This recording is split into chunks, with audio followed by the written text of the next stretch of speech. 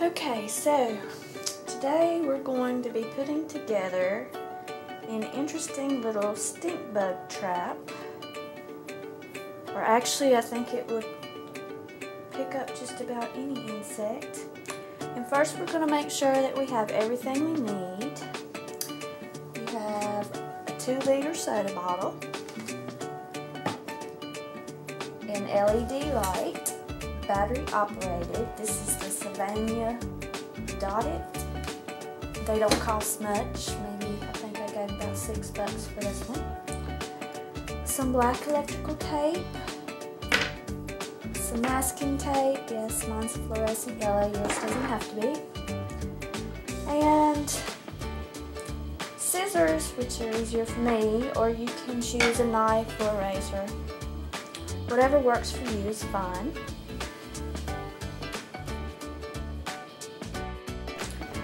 Okay, so we're starting with the soda bottle, and I took the label off. You don't have to for this, it's just easier for me. We're going to cut the top off, like so. Be careful not to cut yourself.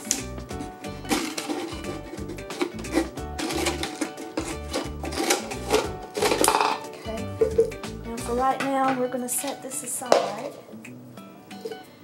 And we're going to take the electrical tape. And we're going to just wrap some around the bottom of the bottle. Um, I imagine this is to help keep the bottom portion of the bottle dark.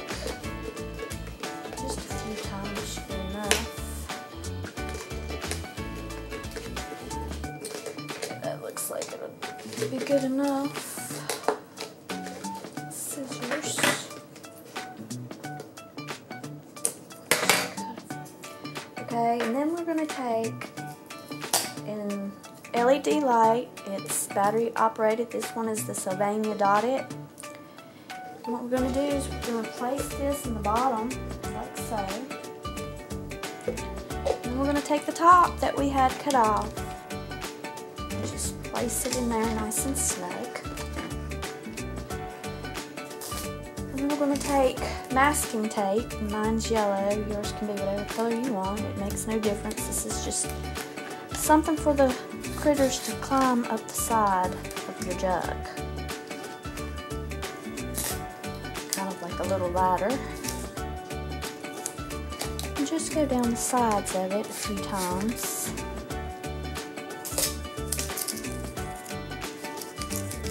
So.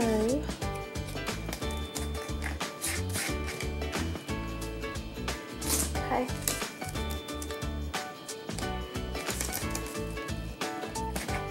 There we go. And that's all there is to it. All you have to do is take a pen, pencil, something, anything, and just push. And there it is. And so we're going to put this in a dark room or probably the attic would be the best place. We're going to see how many bugs we get to catch. Hopefully stink bugs come morning.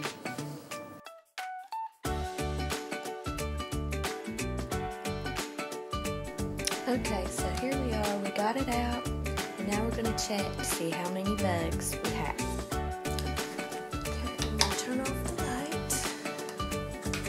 I checked the bug catcher and I counted about six and I don't know if you can see them or not. Here's a couple. We certainly know where they get their name from because the smell is not pleasant. And while six may not be that much, it's enough for me. At least I know my house isn't plum infested, but it works. So I'd say yes for something cheap and easy to do. It's easy make. Make a bug catcher.